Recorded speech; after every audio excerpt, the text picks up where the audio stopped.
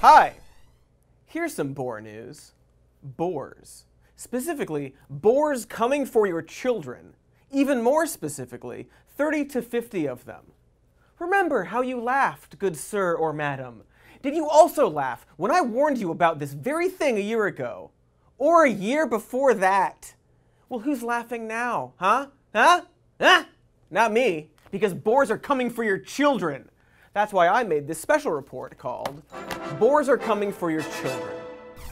Now, just to recap, a previous episode of this show and an episode of a legally distinct version of this show have described in great detail the painfully obvious threat of what began as a single radioactive boar originating from the Chernobyl area, raw dogging or raw hogging its way through Europe and Asia, only to begin spreading its piggy seed all over the United States of America. It did this, of course, by using its radioactive powers to create a black hole, giving it the ability to teleport. And before you start, no, radiation does not seriously affect the volume of boar sperm. Duh, I checked. We went through all of this, and the fact that this new boar army is absolutely bonkers for radiation. So if this is your first boar video, I seriously encourage you to go catch up. Your life may depend on it. It was all tirelessly handed to you by Past Cody in the form of video evidence of multiple boars seemingly appearing from nowhere, such as bursting from the goddamn ocean, as well as countless reports of boars replacing entire dwindling populations. I presented, very calmly and handsomely, evidence that these were most likely Nazi experiments or possibly angry pig mutants originating from nuclear testing of old. I offered solutions, such as a wall to keep them out. I even gave you very clear cut evidence that these pigs might possess psychic abilities brought on by the Chernobyl disaster. And yet, no one took action. None of you believed me, despite the overwhelming visual evidence and undeniable fact that radiation mixed with a dwindling population meant that boars would slowly become the dominant species of this planet. I warned you all, and yet we've barely seen any mention of the upcoming boar apocalypse in the mainstream media.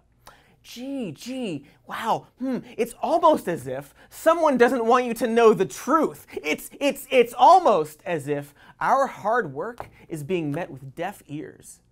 And so that's why we're here to turn over that dank rock and see the worms for what they really are. It's time to expose the lies, cuties. But first, since that last video full of the recent boar attack timeline, there's been even more radioactive teleporting boar attacks that I will now recap for you to remind us what we're fighting for. August 28, 2018, a pregnant woman in Punggol is attacked by a wild boar while she was walking to a bus stop. The boar later broke into a condominium, where it was eventually captured.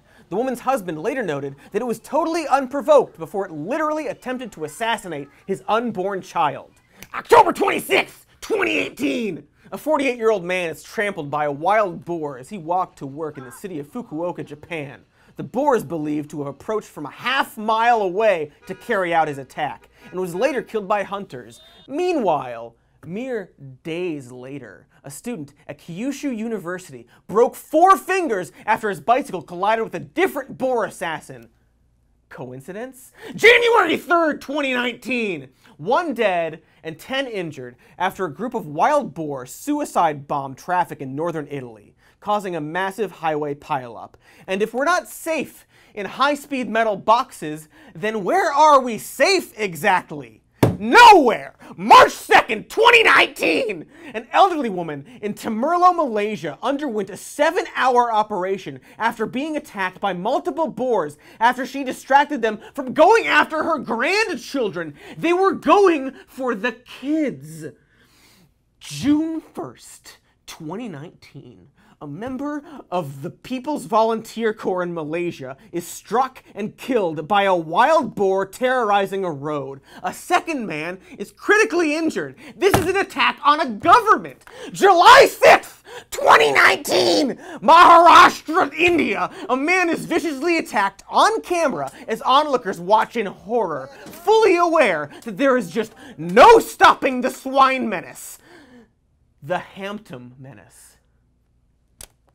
You want to laugh some more? Huh? This is business that is serious. Serious business is what this is. You see, we love to sit here on our American thrones and pretend like the problem will never reach us. After all, it appears that, for now, most of the hog news is coming from overseas. In Barcelona, police logged 1,187 phone calls about murderous boars. The fear that we will soon feel has already reached Europe, as well as China, where wild boar literally walked the streets of Hong Kong, and swine related police calls rose from 294 to 738 in five years. Look at the size of them. Meanwhile, the people of Rome are literally afraid to bring their children outside because of the rise in boar violence around parks and schools. Parks and schools. The place children go. And, uh, don't get me started on Russia, you guys. Oh, it's too late because I'm started. I have started on Russia. Because, hey, what in the fresh turkey hell is happening in Russia, huh? There were multiple explosions that the government does not enjoy discussing and appear to involve radiation. The first one was at a military depot in Siberia, aka the natural home to boars.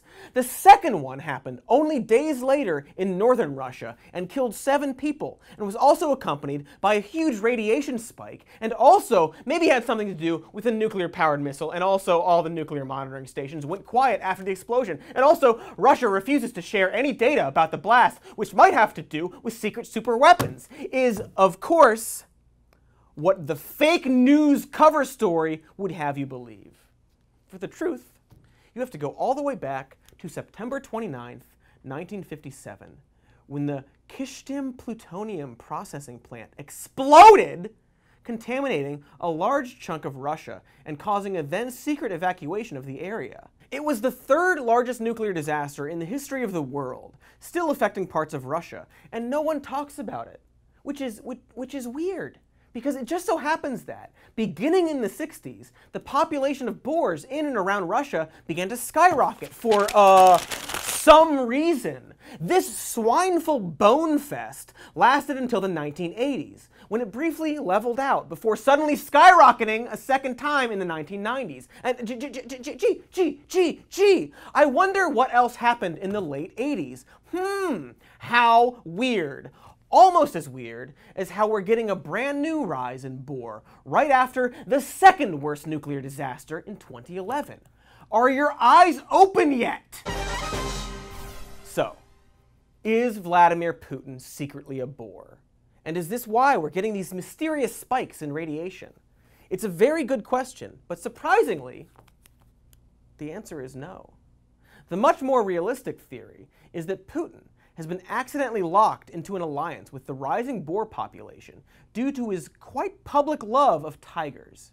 Putin has, over the years, worked hard to save the Siberian tiger from extinction, and in an interview has outlined that the main solution is to introduce natural prey into their environment, specifically boars.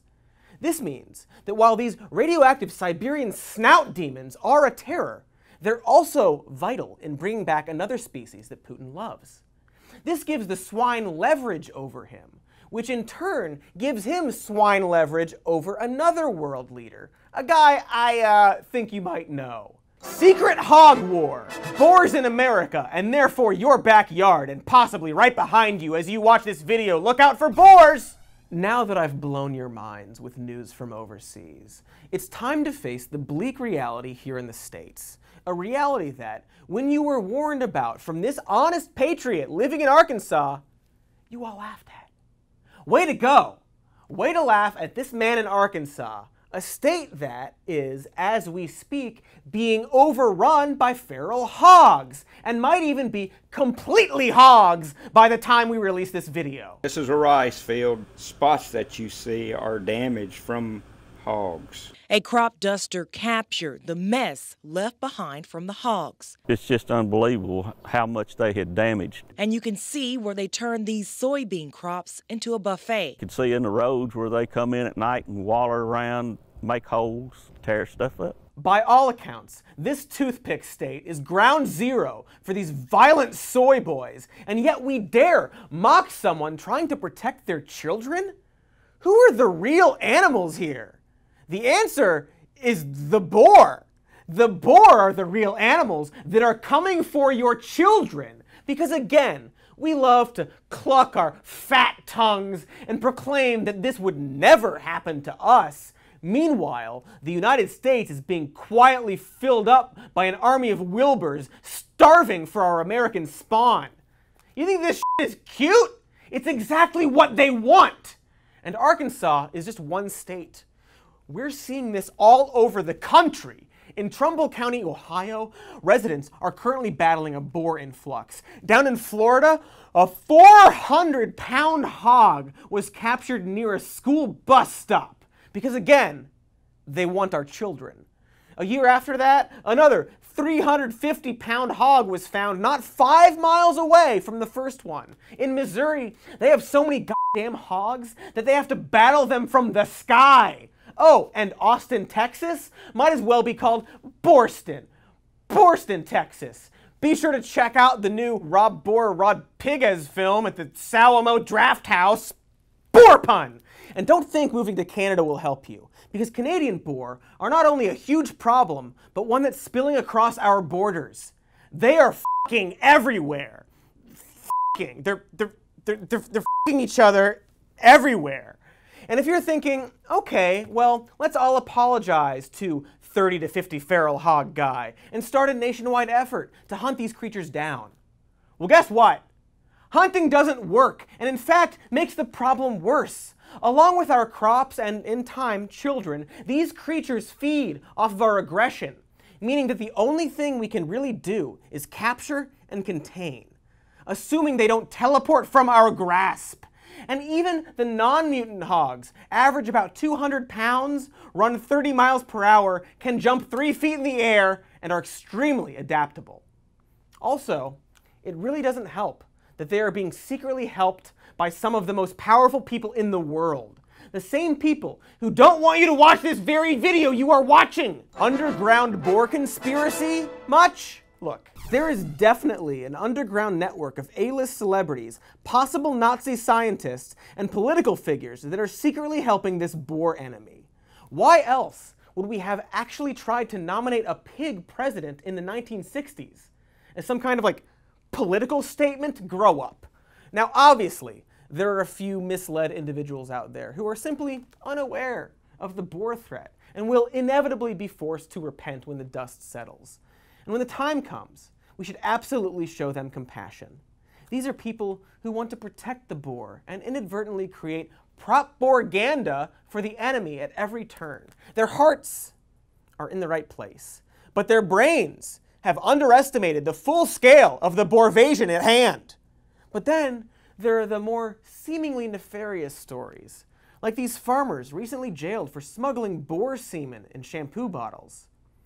Who put them up to this? Who stands to gain the most from harboring pig jizz across international lines? Is it boar who stand to gain? This news dude thinks yes. Farmers and scientists appear to be the biggest offenders in this quiet push for boar supremacy. At first glance, you would assume it's for the purposes of creating a better pork, but then, why in the hell is this happening? That bebop in training you see is a genetically modified, double-muscled mutant pig being bred in Cambodia. According to Newsweek, we don't really know how they are being created, or why.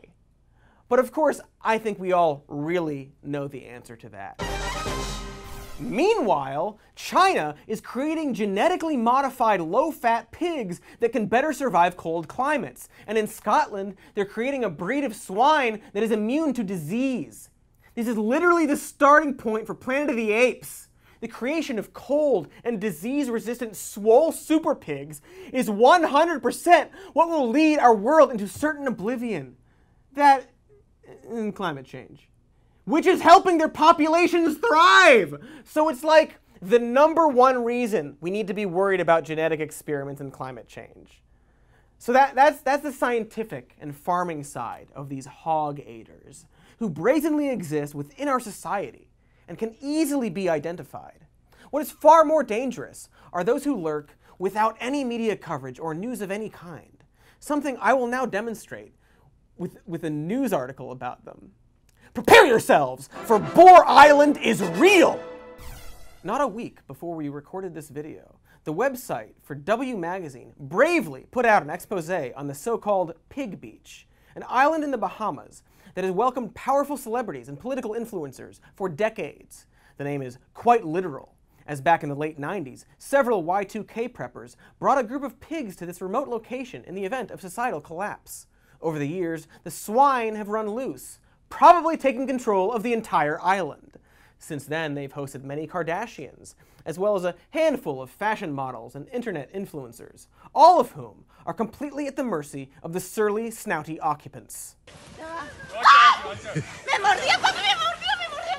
Let's see. But it's not all pig attacks. I mean, it usually is including this time, where one of the Fire Festival founders got bit square on the balls by a pig. Something that, you know, we should all take a moment to really savor. But it's not all attacks, nor is it just the vapid celebrities going to this island to get their sacks munched. Don't believe Cody? Look who else has been to this pig island. Yep, that is Donald Trump Jr., having some kind of private meeting with what I can only assume are the leaders of this tiny swine nation. What did they talk about? How long did the meeting take place? And why has no one in the Trump family addressed this? Was his ball sack also ravaged? Is that why we've never seen Donald Trump Jr.'s scrotum? Hashtag release your scrotal records. We need answers fast because someone is already beginning to cover their tracks, thanks to a series of mysterious pig deaths on the islands, which happened conveniently out of sight from any security cameras or supervision. I fucking dare you to call me paranoid! So to recap, there is an international cabal of powerful world leaders and influencers who are clearly helping a rising pig revolution, a new boar order, who have extorted them into providing swine empowering radiation and genetically enhanced Hulk bodies, all of which centralize around this one mysterious luxury island. It's all right here in this 4chan post I found, just staring us in the face. What is seemingly a harmless board joke is actually a multi level code. Take all of the uppercase letters and assign them a numerical value based on their place in the alphabet. Then add them together, and you get the number 109. Do the same with every first letter of each word, and you get 90. Average those together, and you get 99.5. Round that up, you get 100, which happens to be the sum you get when adding the coordinates for Pig Beach, baby!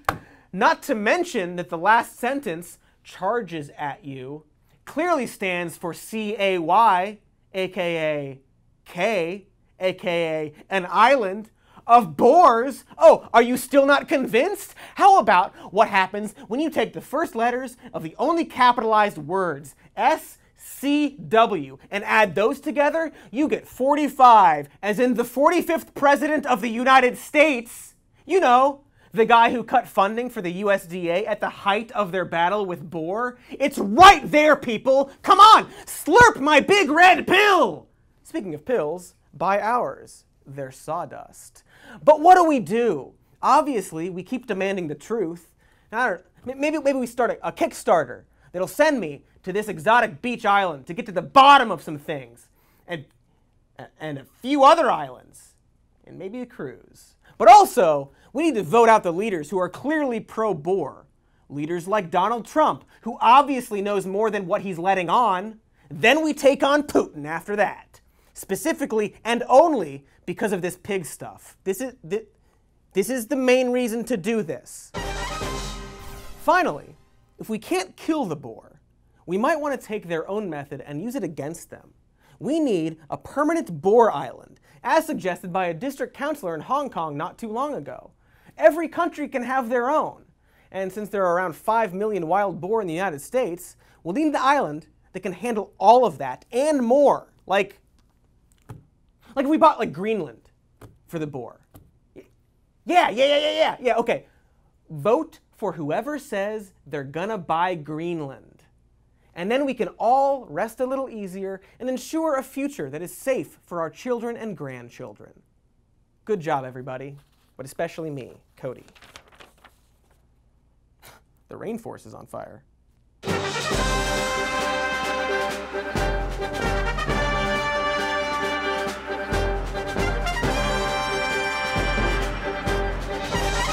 Rainforest is on fire on purpose. Ugh. What's up, everybody? Thanks for watching our 50th episode. Wowee! Make sure to like and subscribe and comment and all the YouTube stuff that you can think of. And check out our podcast, Even More News, and our patreon.com slash some more news if you'd like to support us. And we have a TeePublic slash user slash some more news for merchandise. And I love you.